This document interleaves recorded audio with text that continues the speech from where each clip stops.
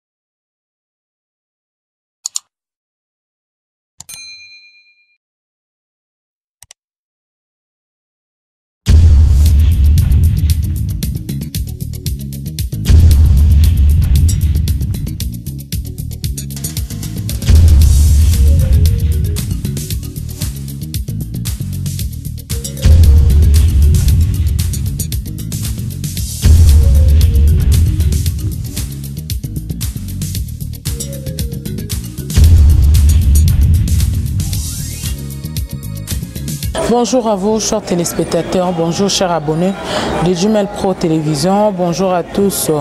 de la part de Station Zambé de King, la femme sans péché, moi ça zanga lisumu, babi moi si oya pesa kaposa, moi si alicho di mulai, moi si oyoyo. asala rakimarambe zala. Bienvenue à votre émission, toujours les passés du couple, que moi votre humble servante, j'ai toujours l'habitude de vous le présenter, mais je ne serai pas ingrate de saluer comme ça Benjamin Chimanga, hein? Benjamin Chimanga, balobi euh, un bon tonton, balobi pembeza option mobala.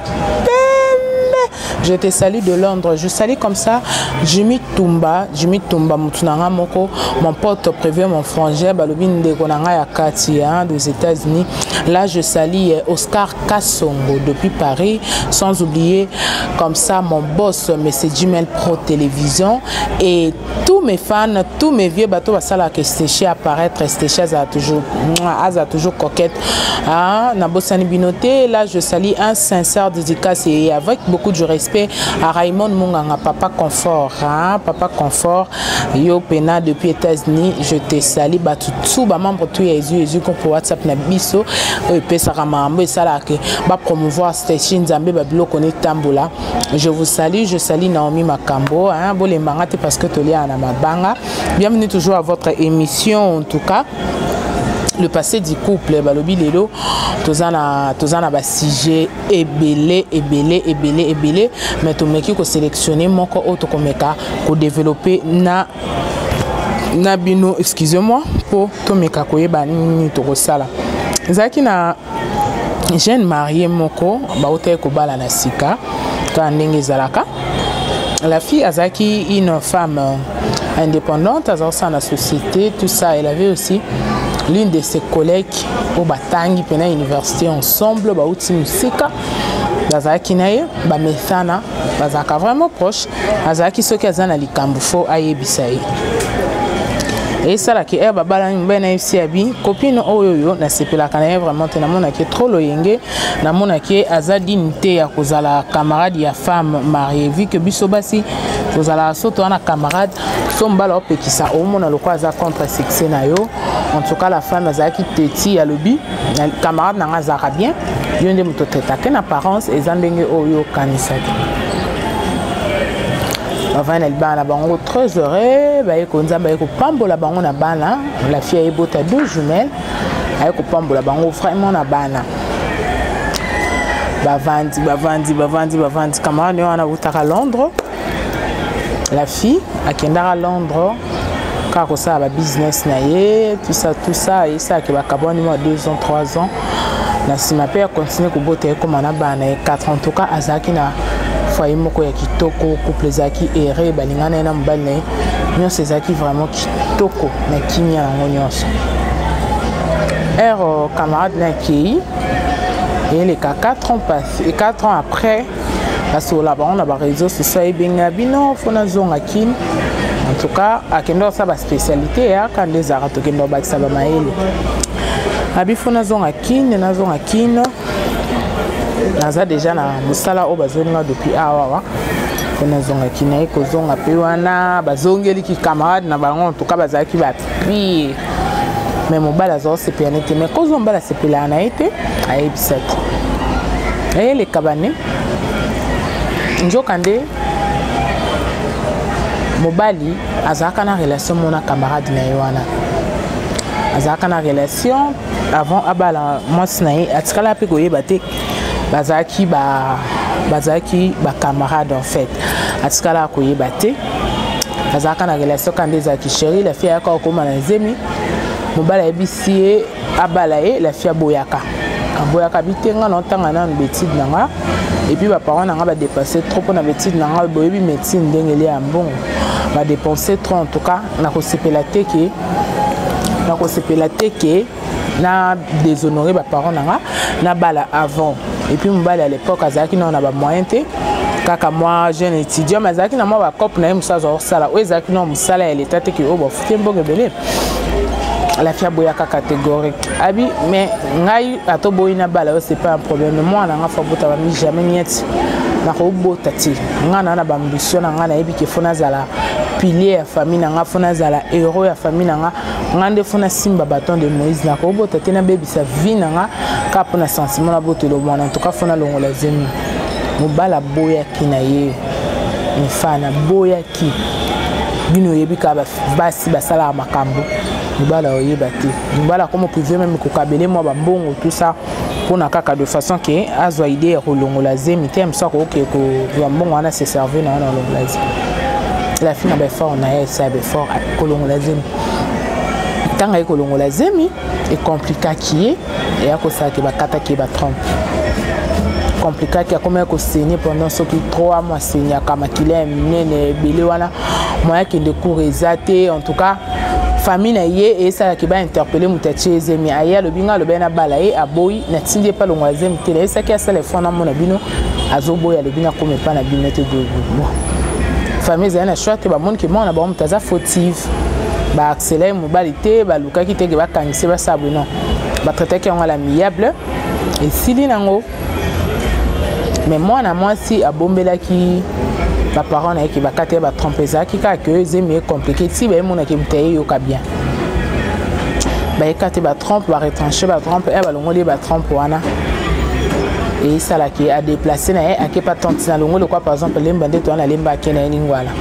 garçon peut tellement akomaki azalaki déjà na kanda il était énervé na ba acte wana parce que il voulait avoir l'enfant akoli nde na mambo wana te olongolisa ba sixième ye puis azwa olinga fi yango mingi azalaki même pas na idée ki atrahir ye na bongo ntango ayelongola zemi ekomplike bongo akende asi garçon mpe atikali akontinue vi na ye na ndenge ke eya kosala nzambe apamboli ye na mosala bayekutana na mwasi na ye oyo abala lelo makambo wana nyonso ti vi na bango nyonso akote wana épouse na ye atikala ya koyeba yango te ke bazalaki na relation moko en particulier ayebaka te ye ayebi kaka camarade na ngai biso mbala boyaka parce que la fille elle avait de tatouillage elle était vraiment stylée hein, comme une star voye eh, lokola ndenge qu'il a sexy alingaka azala ndenge azosopaka batatouillage donc voilà donc elle donnait déjà une mauvaise impression na kotala boye bino oyebi kaka biso baafricain so bamona ya une femme remplie de tatouillage de piercing on te traite de moins sérieuse aza olinga te na sens wana na libala na bango eh, babalanaka la fille mpe azalaka te azalaka constate na makambo ya classe na bino oyebika nde eh, moki camarade epanzanaka ti oyo aosa makambo na ye après misusu deux ans trois ans boyokutana lisusu e eh, bozongani abengi camarade na bino ozonga bazweli nga mosala kuna me naolonga place tozala osala nga na yo bazweli nga mosala par exemple na caa na yo travaille wana mais s'il te plaît aide nga yo yebi ke nango tosala baspécialité aide nga mbongo naza vraiment na basu te mpo na koluka ndako si ora moyen nazala epai na yo meme ata pendant une année en attendant babanda kofuta ngai nameka kokangisa bambongo nazala prête ya kofutela bon la femme ignorante qu'elle était azalaki na ye na, na, na idée kutu te na idée kutu te ke oyo oyo akozala na relation moko ya mabe na mobali nayebi ke c'est mon ami c'est ma copine c'est ma confidente toa vraiment na, na relation ya bien la fille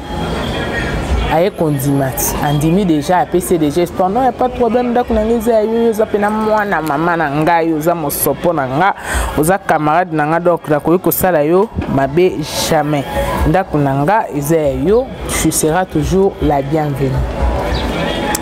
le soir nango aye isola na mobala bi chéri tu vois steshi azoya donc euh, steshi aza camarade na nga touti na mosika bebe asunga nga mingi e nazali na baproblème financière na makambo baklasse tellement ke bango mwa famille ezala kosimba en tout cas soutenanga mingi nakoka odecevoir ye te temo kaka yo osala aza na prete sur zwa ndako te bino mo boyebi surtout biso bagarantie na biso alemba ya badimo ozala na besoin ozwa misusu ndako na 300 dollars ozala na 3000 soit ozala ata na 2300 ese kosoka te dimo kokutana na moto bien ozwa 7 mois plus 1 abi ya bazala nano aa pour un moment en attendant kangisa mbongo mobali azalaki catégorique abi jamais jamais ndako oyo oyo toyokana ngai na yo tokovanda na foye na biso biso na bana na biso bandeko na nga bayaka bayetala nga a bakeye parce que bayebi ke tolingana na biso tovanda na bato te noki ezalaki motu moko akoma otya biso sudement ya suivi awa alandelaka vi na biso makambo tozosala nalingi na nga te abondeli akomi susi mobali so ayeba servi ye biloko lia na olia te mpo nini yo olinga osala makambo nga alingaka ta akomotya mobali pression ba mobali atala bibo toutefois ye azoyeba mpo na nini te oyo ngai na oboya aoyeba cause oyo ngai na oboya te metema oza kaka mwasi nameka ocomprendre ye noki mwasi na ngai azala malheureuse aye kondima bi ça va j'accepte ah, en tout cas le jour aye api waouh Merci mon chéri, je savais que tu allais pas me décevoir. Toi tu es mon cœur, tu es moi, donc on peut décevoir jamais. la fille pe data voyage ekokaka te bake mpe bazwi na aéroport tout ça tout ça aya komovana na ndako ah ekomi so ake mosala temo ke ba société moko te moto moto société na société bazala na aire na bango basilisaka ekomi so ake mosala bango épouse kolo ndako basilisaka mwa tardive basilisa bakoma ti ba 18 h 30 le temps kanga babureau asilisa koremplir ba ba ko conclure ba dossier tout ça akoma souvent ndako ba 20 heures 22 heures ba 20 heures 22 heures ye mosusu omona mobalaki ezwa ye na ville wana ye mosusu omona ye moko aye sikoyo la fille akoma ojoue na intelligence ya mwasi avant longa epai na bango kuna na se ah, allo ma belle ça va euh, tu es où c'est oh non je suis encore au bureau j'ai encore quatre dossiers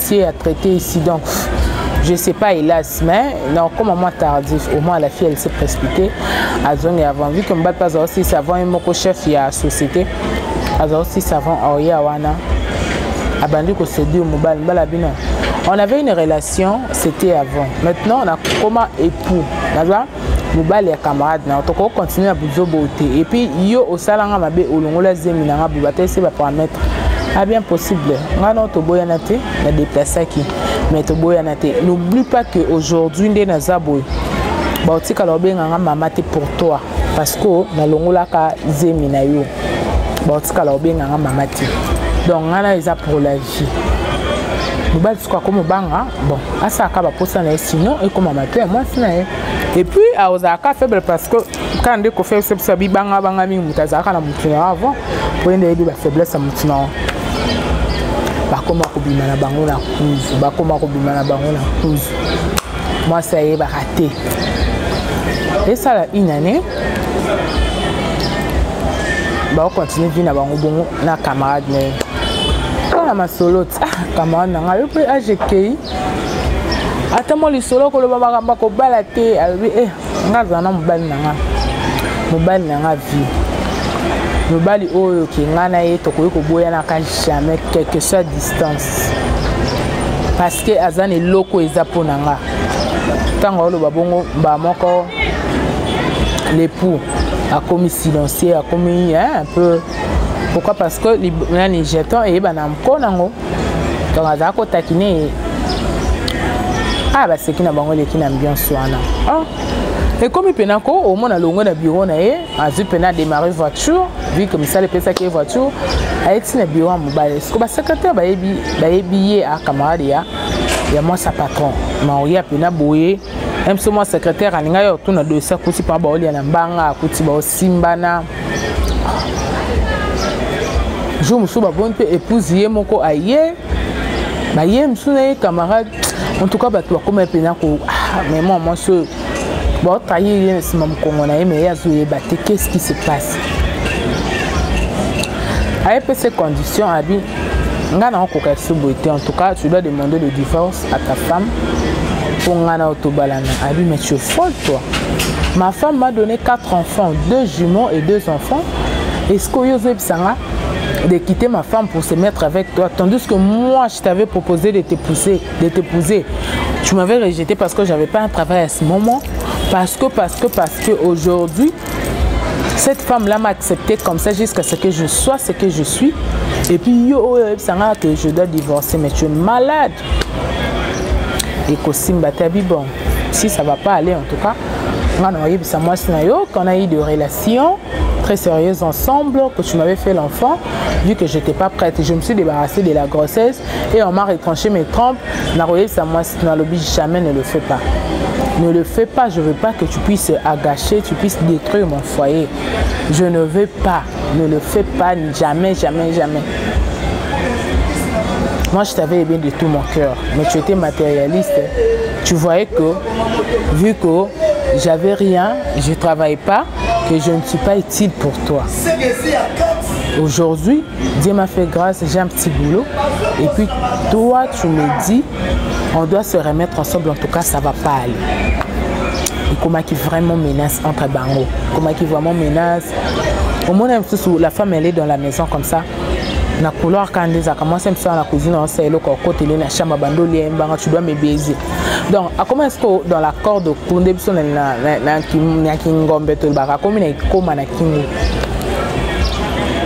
mais chose eza ta koma osala yango malgré ye parce que aobangaki ekoma mato ya mwasi na ye eh, msu mwasi na ye akodigere yango à sa manière akoma pena étouffe baolekisa mikolo baolekisa mikolo baolekisa mikolo oh, un eh, bon jour mwasi na ye avandi boye na salon abengi bon abi bimisa bashomise ya papa oya nango awa ah, na salon bimisa panier bilamba saite wana na créer oyo donc abengi bonne aya na bachemise ya papa ntango bapo apona oyo bapona bakende yango na pressing ka nde ezalaka la fille a se précipité akoti na chambre na bango atie rouge à lèvre na monoko apesipesi babizu na cole ata na plus de 4 chemise e eh, bayeli euh, la femme abi oh. asali ka sembla mwasi ya mayele ndenge akuvaka mobali na ye jour wana tokende fete na papa euh, nde toza obina babizu nde ezwi ye babizu nde ezwi ye na, na chemise donc oh, azipi kaka parce que nini bone azwa azwa idée te ke mabe ezali eye kosala ke lobi nango na pokwa ntango mobali azongi na pokwa ntango mobali azongi ameki kotuna mobali me chéri problème nini problème nini okokoma ntina niveau te bon mobali azalaki etoni ayebi te pourquoi mwasi nazotuni bakestion wana abi je vis de rouge à lèvre na chemise na yo namoni ba rouge à lèvres na chéri na, na chemise na chéri se kokosa yango trompaka nga abi non na trompako te bebe na trompako te oyebi ke toa na bacollègue peut-être ekozala ndenge ezalaka après bareunion ya mosala ndenge mosusu tokoki koyambana soit na restaurant En tout cas, naza kutata na idée te ndenge ba, ba rouge à lèvres wana et se retrouver pas nanga. Je suis désolé pour ça, naza na idée te. Bon, tellement moi aussi, elle avait beaucoup plus confiance de son homme. Apporter nango vraiment problème te parce que azaki na confiance en bani ma casse ko les quand même ya yemoko. Si babana na mbal na ti bazala en couple. atikala kozwa mbali na ye na mabe te ke asuspecte babiloko moko boye non malgré tout l'homme n'est pas parfait mais mobali na ye vraiment azalaki à demi parfait parce que atikala koleza ye te atikala ozwa ye na mabe te nyonso ezalaki vraiment ok bazalaki bien mobali moko fidèle bazalaki kovivre na bango bien le lendemain bake mosala ka ndenge ezalaka l'épouse ake mosala camarade nepe ake mosala camarade na ye se précipite asisi mosala avant aleki na bureau ya, ya, ya, ya mobali ayebisi ya bise neke le début de commencement ngai batrompaka nga te nga mpe babotolaka nga mobali tabi non mon histoire et toi c'est une, une ancienne histoire tozala te ezala kala moi je suis moi je t'avais proposé na bala yo boya nasala nyonso mobali asalaka oza meme kolongola zemi na nga sans volonté na ngai Allez, Lelo, tu veux créer des troubles à mon frère, je te donne un mois au maximum. C'est un divorce, sinon je, je, je, dirais tout à ta femme qu'on a eu une relation, on m'a arraché mes trompes pour toi, Bino. soki olobi bongo ekosimba te parce que moi je t'avais pas abandonné moi je t'avais proposé soki ondimaka ke nabala yo mais lelo nakutana camarade na yo te comment est ce que je peux demander divorce à une parfaite femme comme ma femme à une parfaite femme comme ma femme nasenga ye divorce une femme très polie une femme sage une femme de prière une femme amoureuse nakoki kosala yango te jamais abi ça va on verra bien soki osala yango te en tout cas akomaki mal à l'aise ekomaki ya de fois mwasi naza na cousine azolamba ye akoteli ye na chambre abandi olia lia ye bambanga soki ameki kaka o soki oboyi na oganga en tout cas akomaki mal à l'aise ici son toi moyen mpe ayebisa mwasi na ye te ke abengana camarade na ye parce que mwasi na ye aa na confiance ya camarade na alingaka ye mingi tout ça batraversa mpe babetape na bango mwasi azalaki innocente l'homme ne sait pas quoi faire nde ye abengi biso abi maman steshi tala histoire ya, ya, ya foye na ngai ya vi na ngai ndenge ezokende nasala nini si je disais la vérité à ma femme est ce que elle va me pardonner akondima nga bongo parce que obstacle oyo oh, mwasi wana camarade ya mwasi nakoma omonele kaka parce que mobali azobanga ke mwasi na ye ayeba verité nyonso azobanga aza laise te yango ekomeli bango azoloba nayebisa mwasi na nga verité est-ce que nasenga divorce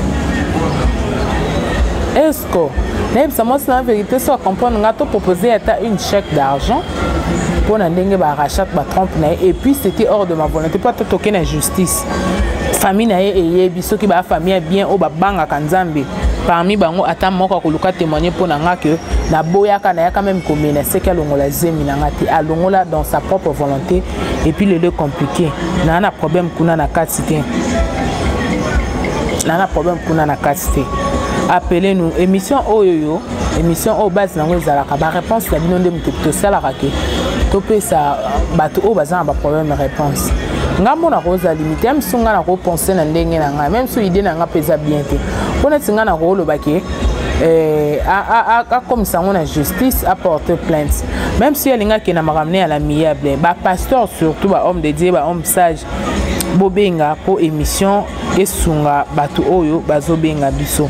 merci beaucoup na bino bato tu oyo bolandaki nga steshi nzambe merci na bino bato oyo bozalaki toujours branche wana mpona kolanda ngai bato oyo bosutenaka ngai en tout cas je vous dis merci je vous dis mes bisous je salis ma fille comme ça naomi makambo makambo ezanga suka hein, mwana nga d'angola depuis angola hein, balobi eh, infirmière na biso moko je te salim je sali euh, moski la sexy ma fille boyka mille esprit je te sali napesi baconsort ba na nga nyonso ya youtube napesi bino mbote nanidi elesi napesi na sidora mbote bato tout exauce mata mbote bato tu bosala mosala na bino bien en tout cas napesi bino ba bisous je vous love je vous love ya un principe na kati ya émission na biso oyo ezalaka aime like partage en tout cas esalaka biso ba bien parce que si vous partagez l'émission et que l'émission ezotalama yango nde moto esalaka producteur na ngai monsieur jumel pro aproduire ngai lisusu pour la prochaine fois soki bozopartage te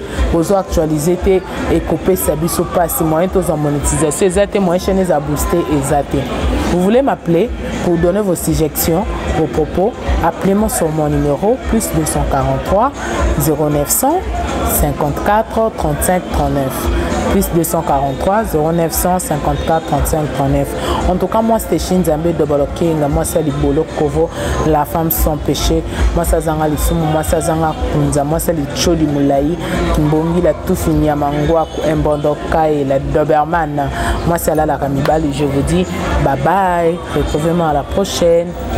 bisous